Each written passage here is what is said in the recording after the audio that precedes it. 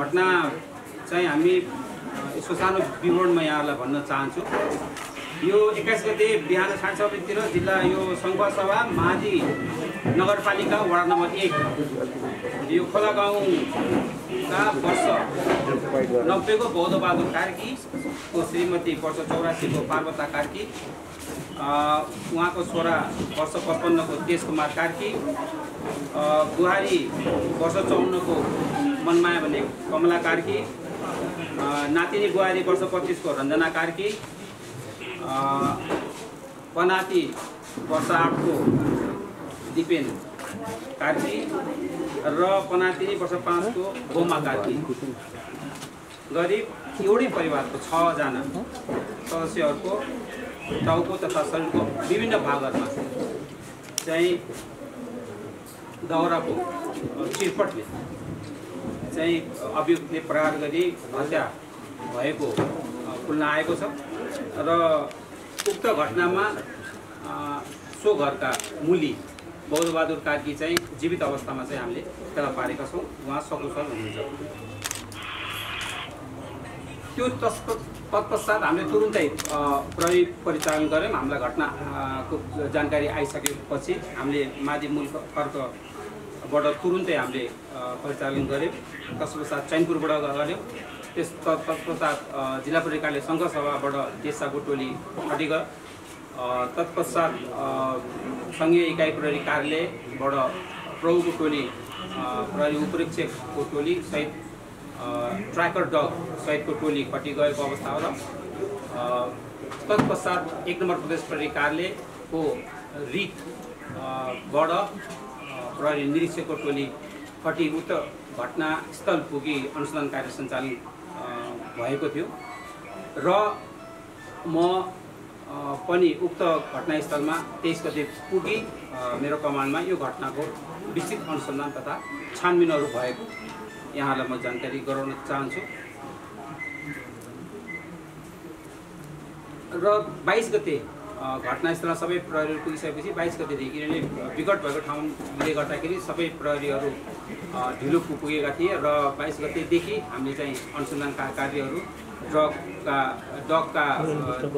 विभिन्न गतिविधिहरू लगायतका सबै हामीले चाहिँ कार्य सञ्चालन गऱ्यौँ र घटनास्थल प्रकृति मुजुल्का लास प्रकृति मुजुल्काहरू सबै गरेर हामीले चाहिँ लास छवटा लासहरू चाहिँ थप अनुसन्धान तथा फोरेन्सिक लास पोस्टमार्टमको लागि हामीले चाहिँ पठायौँ।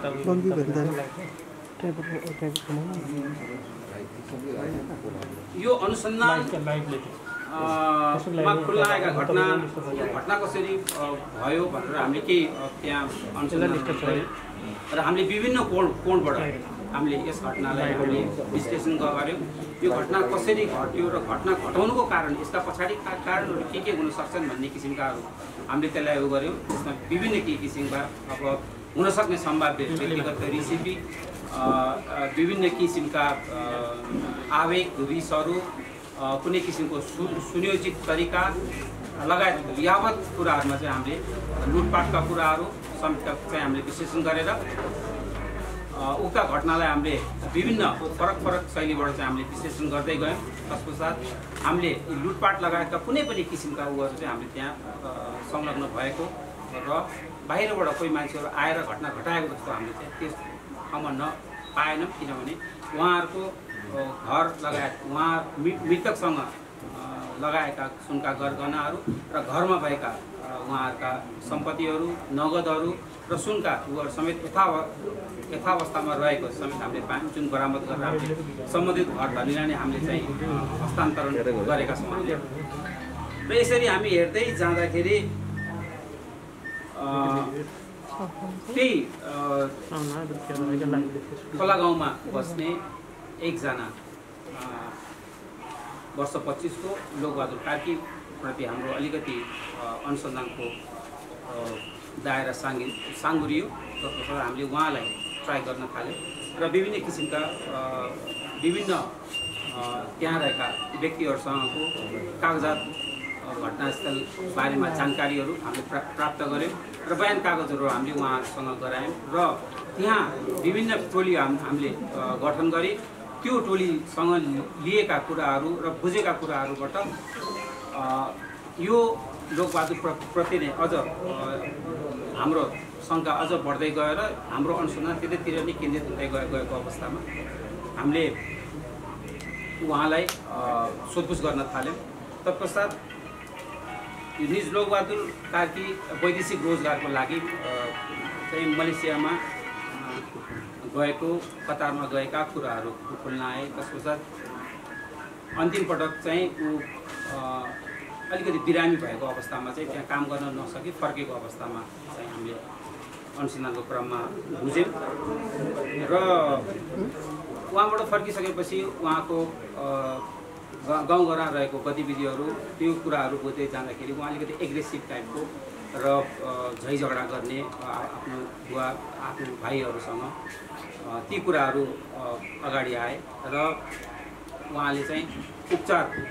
गराएर केही औषधिहरू उहाँले लिने गर्नु भएको पनि हामीले त्यो जानकारी प्राप्त गरेँ तत्पश्चात अ, उहाँको त्यो दैनिक क्रियाहरूमा उहाँ अलिकति अल्छी काम गर्न अलिकति अप्ठ्यारो गर्ने त्यस्तो किसिमको कुराहरू पनि त्यहाँ खुल्न खुल्न आए। र निज अभियुक्त को हजुरबुवा चाहिँ मर्ने मर्ने बेलामा चाहिँ जुन अहिले जो छजना मृतक हुनुभएका छ तेज कुमार कार्कीको सँग चाहिँ उहाँको हजुरबाले चाहिँ यो मेरो सन्तानहरू चाहिँ अलिकति कमजोर अवस्थामा छन्। यिनीहरूलाई अब स्याहार सुसार गर्ने तिमीहरूको जिम्मा भनेर तेज कुमार कार्कीलाई चाहिँ जिम्मा जिम्मा लगाएको अवस्थाहरू त्यहाँ हामीले अनुसन्धानको क्रममा बुझ्यौँ। र तेज कुमार कार्की अलिकति त्यो परिवारको चाहिँ अलिकति सबै हर्ताकर्ता लगायतका अलिकति एक्टिभली त्यहाँ पार्टिसिपेट गर्ने हिसाबले गर्दाखेरि यो अभियुक्तलाई चाहिँ बारम्बार जाने त्यो घरमा जाने सम्झाउने काम गर त अ, भन्ने हिसाबमा चाहिँ किसिमका कुराहरू चाहिँ उहाँहरूले गर्दाको अवस्थामा र यो मान्छे अलिकति अल्छी र काम गर्नु पनि अलिक जाँगर नभएका र अलिकति बिरामी पनि भएको हिसाब जस्तो कुराले गर्दाखेरि यो झर्किने र विभिन्न किसिमका चाहिँ काम गर्न बोलाउँदाखेरि पनि नजाने अवस्थामा चाहिँ निज मृतक तेज कुमार कार्कीले चाहिँ गएर गाली गर्ने सम्झाउने गर्दाखेरि पनि त्यो किसिमको चाहिँ अब उसले अलिकति लापरवाही गर्ने हिसाब गर्दाखेरि कहिलेकाहीँ गालीहरू पनि गरेको त पागल त केही गर्नु नसक्ने त खालि यसरी उ गरेर बस्ने तैँले चाहिँ बाहिर विदेशबाट पनि केही सम्पत्तिहरू कमाउन सकिनस्। लगायतका चाहिँ गालीहरू गर्ने र धन सम्पत्ति पनि तैँले चाहिँ केही कमाउन सकिनस् भन्ने किसिमका कुराहरू भइसकेपछि उसको मनमा यो कुराहरू गढेको अवस्थामा चाहिँ त्यो चाहिँ हामीले अनुसन्धानको दौरान हामीले पायौँ। र निज बेला बेलामा आक्रोशित हुने मैले अघि पनि भने त्यो किसिमको र जे पाए त्यहीले आफ्नो भाइहरूलाई बाउहरूलाई आ आक्रमण गर्ने खालका चाहिँ गतिविधिहरू चाहिँ त्यहाँ रहेको पाएँ र त्यो घटनाको दिन अगाडि पनि चाहिँ मृतक तेज तेज कुमार कार्कीको चाहिँ भोलिपल्ट गाउँ गाउँमा खेताला लिएर जाने किसिमका कुराहरू चाहिँ भएको पाएर त्यो खेतालाको क्रममा चाहिँ यो अभियुक्त र अभियुक्त भाइलाई समेत चाहिँ खेतालामा लाने भन्ने किसिमको कुराहरू भएको हिसाबले त्यो दिन बिहान बिहान जब घटनाको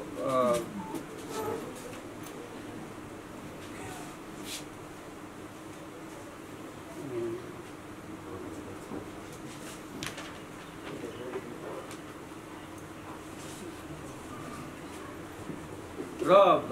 उहाँ बोलाउन गएको त्यो तेज कुमार का कार्की चाहिँ आफ्नो त्यो खेतालाहरू कन्फर्म गर्नु ऊ उहाँको घरमा घरमा गएको अवस्थामा चाहिँ उक्त घरमा उसको बुवा र उसको भाइ चाहिँ गाईलाई कुँडोहरू प पकाएर चाहिँ उहाँहरू चाहिँ खेतमा घाँस काट्न गएको अवस्थामा चाहिँ अभियुक्त एक्लै उक्त घरमा रहेको अवस्थामा जब तेज कुमार कार्की आएर त्यहाँ कन्फर्म गरेर फर्किने बेलामा चाहिँ यो कुरो जुन ऊ रातभरि नसुतेको अनितको अवस्थामा र त्यो विभिन्न त्यो पहिलेदेखि नै चाहिँ उहाँलाई जुन किसिमले चाहिँ गाली गर्ने जुन किसिमले चाहिँ उसको ठुलो बाउले एउटा पागल र त चाहिँ काम नलाग्ने भन्ने किसिमले जुन किसिमले उसलाई चाहिँ सधैँ टेन्सनको हिसाबबाट गरिराख्ने हिसाबले गर्दाखेरि त्यो रातको उसमा त्यो सुत्न नसकेको अवस्थामा चाहिँ बिहान पटक जब त्यसरी आएर ऊ गरिसकेपछि उसलाई अचानक यो ठुलो बाउले मलाई धेरै नै ऊ गर्छ भन्ने हिसाबले चाहिँ उसको मनस्थिति चेन्ज भएर पछि पछि गएर त्यो दाउराहरू राखेको ठाउँमा गएर एउटा चिरपट बोकेर पछाडि पछाडि गएर त्यहाँ गो गोगनीको रूप भन्ने ठाउँ छ त्यहाँ। त्यहाँ पुगेपछि अचानक हिर्काएको अवस्थामा दुई तिन पटक हिर्काइसकेपछि मृतक तेज कुमार चाहिँ कराएको ए मलाई चाहिँ लोकेले मार्यो भनेर चाहिँ ठुलो आवाजमा कराएको अव अव- अवस्थामा त्यो आवाज चाहिँ सुनि उहाँको श्रीमती र उहाँको बुहारी घरबाट चाहिँ बाहिर निस्केको अवस्था छ। र त्यति बेला लोकबहा लोकबहादुरले उहाँलाई दुई तिनपल्ट हिर्काएर तल कान्लामा लडाएको अवस्थामा उहाँ र त्यहाँ अझ कुट्दै गरेको अवस्थामा चाहिँ घरको त्यो दुईजना महिलाहरू चाहिँ खोल्सामा आइपुगेको अवस्थामा देखि यो मान्छेले पुनः यता तेज प्रसादलाई तेज कुमारलाई लडाइसकेपछि त्यो प्रति आक्रमण गर्न चाहिँ गएको देखिन्छ र यसरी जाँदाको अवस्थामा मेन तेज तेज कुमार लडिसकेको अवस्थामा महिलाहरू आत्तिएको अवस्थामा र उसको बढी आमा भनेको तेज प्रसादको श्रीमतीलाई पहिलो प्रहार गरेको देखिन्छ। र प्रहार गरेर त्यही चिटपटले प्रहार गरेर निजलाई खोल्सा छ त्यो खोल्साको तल करिब करिब दस पन्ध्र मिटर तल चाहिँ ध- धकेलिदिएको अवस्था छ जुन चाहिँ त्यहाँ हत्या भएको देखिन्छ। र त्यो घटना सँगसँगै रहेको बुहारी त्यस्तो अवस्था देखिसकेपछि त्यहाँ अलिकति अनकन्सियस भएर लडेर उठ्दा उठ्दैको अवस्थामा त्यो रञ्जना भन्ने बुहारीलाई समेत चाहिँ त्यही चिरपटले हिँडाएर लडाएको अवस्था देखिन्छ। घटनाको अलिकति ड्यु ड्युरेसन त्यहाँ अलिकति समयको अलिकति फरक छ। त्यो पश्चात त्यहाँ त्यो कराएको जुन आवाज आएको त्यसको सँगसँगै पछाडिपट्टि उहाँहरूको दुईवटा ती नाबालक बच्चाहरू पनि घरबाट निस्केको अवस्थामा यसले दे देखिसकेपछि यसले त्यो बच्चाहरूलाई पनि लखटी लखटी मारेको अवस्था छ। र त्यो बच्चाहरूलाई मारे पश्चात ती बच्चाहरू चाहिँ मृत भएर त्यहाँ लडेपछि यो लोकबहादुर अभियुक्त लोकबहादुर उहाँको घर जुन घर चाहिँ त्यो घटनास्थलबाट करिब करिब तिस चालिस मिटरको दुरीमा रहेको अवस्थामा त्यो घरभित्र गएको अवस्था छ र घरभित्र रहेको उसको हजुरआमा नाता पर्ने त्यहाँ कुँडो पकाइरहेको अवस्थामा घर पछाडि रहेको अवस्थामा कुँडो पकाइरहेको अवस्थामा देखि देखि निजले उसलाई पनि त्यो कुँडो पकाउने स्थाननिर चाहिँ लगेर टाउको कपाल समाति टाउको भित्तामा बजारी दिएर हत्या गरेको अवस्था छ। तत्पश्चात ऊ त्यहाँबाट फर्की त्यो हतियार जुन हतियारले चाहिँ मारेको छ यी पाँचजनाहरूलाई त्यो चिरपट ल्याएर आफ्नो घरमा रहेको त्यो कुँडो पकाइरहेको अगेनामा हालेर ढुकाएको अवस्था छ। तत्पश्चात ऊ त्यहाँ चुप लाएर ब ब- बसेको र यो घटनाको उसमा पहिलो चाहिँ जुन हिसाबले जब यो अलिकति हल्ला हुन थालेपछि अनि यसले चाहिँ पहिलो लास चाहिँ प्र- प्रसाद तेज कुमारको तेज कुमार कार्की। तेज कुमारको चाहिँ का कार्कीको त्यहाँ त्यहाँ चाहिँ बढी बाउको लास छ भन्ने किसिमको हल्ला पनि गरेको अवस्था छ त्यति बेलाको।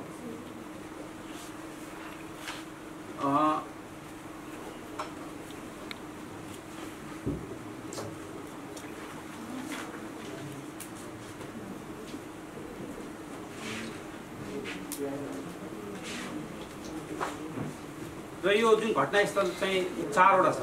त्यहाँ एउटा तेज प्रसाद तेज कुमार आर्कीको त्यो गोगने रुखको डिलको कान्ला मुनि रहेको छ भनेदेखि उहाँको श्रीमती र बुहारीको चाहिँ खोल्सामा खोल्साको तल दस पन्ध्र मिटर तल रहेको अवस्था छ। त्यस्तै गरेर दुईवटा नाबालकहरूको त्योभन्दा साठी सत्तरी मि मिटर बारीमा रहेको अवस्थामा छ। र अर्को चौथो घटनास्थल मृतकको घरमा। मा रहेको। यो चारवटा घटनास्थलहरू दे देखिएको छ। र त्यो चारवटै उसलाई चाहिँ एउटै हतियार त्यही चिरपटले हिँडाएको अवस्थाहरू अनुसन्धानबाट खुल्न आएको छ। र यो आक्रमणहरू चाहिँ एकैपटक एकै ठाउँमा मान्छेहरू जम्मा भएको अवस्थामा छैन। यो अलिकति समयको अलिकति टाइम बााउन्ड अलिकति केही मिनटहरू फरक भएको अवस्थामा र पहिलो व्यक्ति जो चाहिँ तेज कुमार कार्की हुनुहुन्थ्यो अलिकति उहाँको शारीरिक अव अव- अवस्था पनि अलिकति बलियो रहेको अवस्थामा पहिलो त्यो मान्छेलाई ढाल्ने बित्तिकै अन्य अब शारीरिक अवस्था कमजोर रहे- रहेका महिला तथा बालबालिकाहरूको लाई आक्रमण गरेको देखिन्छ यसमा। र एउटा मनस्थिति त्यहाँ एउटा के पनि देखिन्छ भनेदेखि त्यसरी घरको मुलीलाई नै ढालेर उ गरिसकेको अवस्थामा महिलाहरू आत्तिएर चाहिँ रिटालिएट गर्न नसकेको अवस्थाहरू त्यहाँ देखिएको छ। जसले गर्दाखेरि उसले इजिली ती मान्छेहरूलाई पनि ती चिरपटले हिर्काएर हत्या गरेको देखिएको छ त्यो त्यसमा र यहाँलाई अघि पनि भने अ, अनुसन्धानको क्रममा घटनाको प्रकृतिहरू हेऱ्यौँ हामीले विभिन्न कि किसिमका खोजमूलक गऱ्यौँ घटनास्थलको अध्ययन गऱ्यौँ र यसमा कुनै के कस्तो किसिमको हुनसक्छ? आर्थिक लेनदेनका कुराहरू हुनसक्छ स्थानीय रिसिभीहरू केहीहरू हुनसक्छ अथवा कुनै कमिटेड क्राइमहरू चाहिँ म यो गर्छु भन्ने किसिमको त्यस्तो किसिमको र पारिवारिक अवस्थाको झैझगडाका र दाजुभाइको अंश बन्दाका यी विभिन्न विधाहरूमा चाहिँ हामीले अनु- अनुसन्धान दायरालाई लिएर राख्यौँ। जुन चाहिँ हाम्रो पछि अनुसन्धान सङ्कुचित अवस्थामा खुम्चिँदै खुम्चिँदै आएर चाहिँ हामीले यो एउटा आवेगमा आएर गरेको र तत्काल चाहिँ भएको घटनाको हिसाबबाट चाहिँ हामी त्यो उसमा अनुसन्धानमा हामी पुगेका छौँ र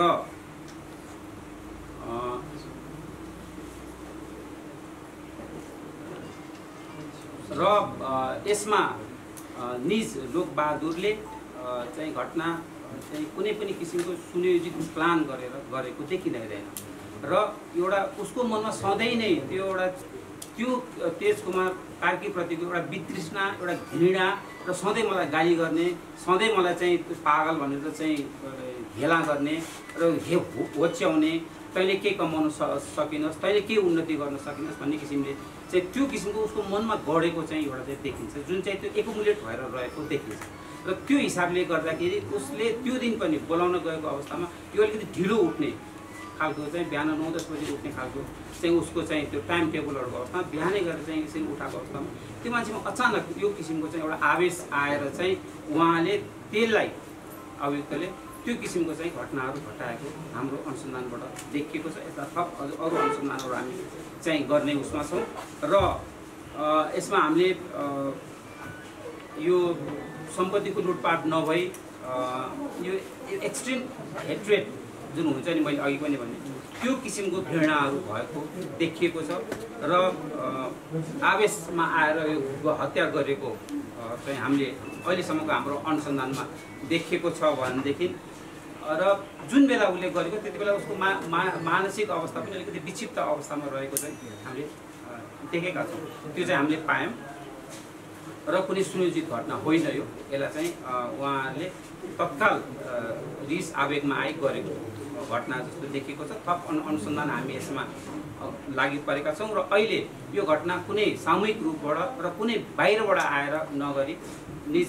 लोकबहादुर कार्कीले नै घटाएको चाहिँ अनुसन्धानको क्रममा खोल्न आएको छ। यसमा थप अरू अनुसन्धान चाहिँ हामी गर्ने नै छौँ र उक्त घटनास्थल भौगोलिक विकटता लगायत फोन सम्पर्क लगायत नेटका सुविधाहरू समेत चाहिँ त्यति बेला तत्काल हामीले चाहिँ उपभोग गर्न नसकेको हिसाबले हामीले बरामद गरेका फोनहरू र विभिन्न किसिमका उहरू चाहिँ हामी त्यति बेला कल सिडिआर लगायतका कुनै पनि उहरू चाहिँ हामीले त्यति बेला तत्काल गरेर चाहिँ अरू थप गर्न सकेको अवस्था थिएन जुन हामी चाहिँ अब यसलाई मुद्दा दर्ता पश्चात यो कुराहरूलाई पनि हामी हामी अगाडि बढाउँछौँ। र हामीले उक्त घटना पश्चात हामीले बरामद गरेका प्रमाणहरू र बरामदीहरूको हकमा चाहिँ निजले घटना गर्दाको अवस्थामा प्रयोग गरेका कपडाहरू त्यो कपडामा केही स्टेनहरू देखेका छन् जुन चाहिँ हामीले फरेन्सिकको लागि हामीले पठाइसकेका छौँ। र मृतक र निज अभियुक्तले प्रयोग गरेका मोबाइलहरू हामीले घटनास्थलबाट बरामद गरेका छौँ जुन हामी फरेन्सिक उसको लागि हामीले पठाएका छौँ। त्यस्तै गरेर विभिन्न व्यक्तिहरूले त्यति बेला घटनाको दे- देखेका जानेका कुराहरूको कागजातहरू बयान कागजातहरू हामीले गराएका छौँ। र अभियुक्त आफैले हामीले अनुसन्धानको क्रममा उसलाई सोधपुछको क्रममा उसले बोलेका कुराहरूको साहित्य बयानको भिडियो क्लिप लगायत उसले तत्पश्चात त्यो भिडियो क्लिप र घटना कहाँ कहाँ कसरी घटेको भन्ने कुराहरूको त्यो घटनास्थल त्यो चावडै घटनास्थलमा समेत गएर त्यहाँका स्थानीय भद्र भलादमीसँग जुन हिसाबको चाहिँ उहाँले यो यो ठाउँमा गएर मैले यो किसिमको गरेँ यो काम गरेँ यो गरेँ यो ठाउँमा यो मान्छेलाई यो हिसाब हिर्काएँ भन्ने किसिमका चाहिँ त्यो क्लिपहरू समेत चाहिँ हामीले चाहिँ बरामद गरेका छौँ र यसलाई चाहिँ हामी अरू फर्दर इन्भेस्टिगेसन उसमा लिएर जानेछौँ। यो साह्रै दुःखद घटना हो किनभने यत्रो एउटै परिवारको छ छजना उक्त घटनामा चाहिँ मृत अवस्थामा फेला पारिएको छ र यो एउटा एउटा ठुलो च्या च्यालेन्जिङ थियो प्रहरीलाई अनुसन्धानको उसमा। जुन हिसाबले हामीले अहिले अनुसन्धान गरेर